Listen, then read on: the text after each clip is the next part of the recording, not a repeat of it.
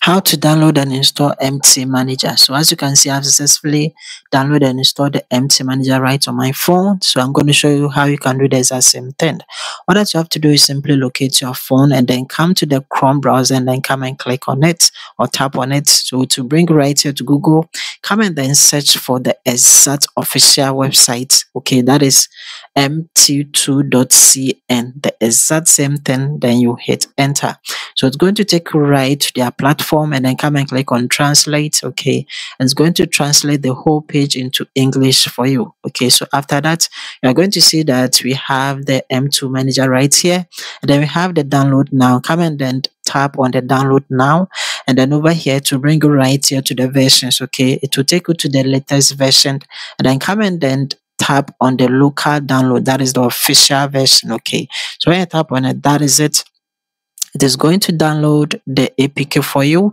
And then when you scroll down your notification bar, you're going to see that it is downloading. Just wait for it to finish downloading. So it has finished downloading the APK.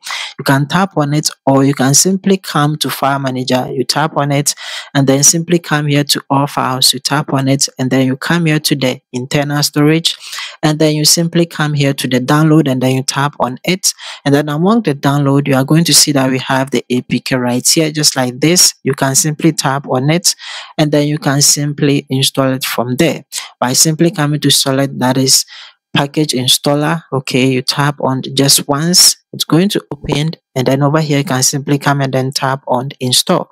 So when you tap on install it's going to install it for you and after it's finished installing just like this come and then tap on open to open it.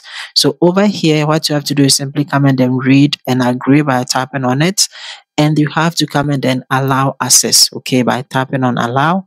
And over here that is it it will open just like this. You can skip the upgrade okay by tapping on skip. And then you have to come and then log in by tapping on log in and then if you haven't created an account before come and then tap on register.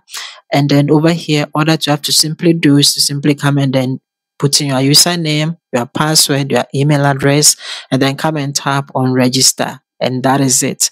And then it will bring you right here to the login whereby you can simply come and then tap on login to log in. So that is it. You have successfully downloaded and installed the mt manager. Like the video and then see you in my next video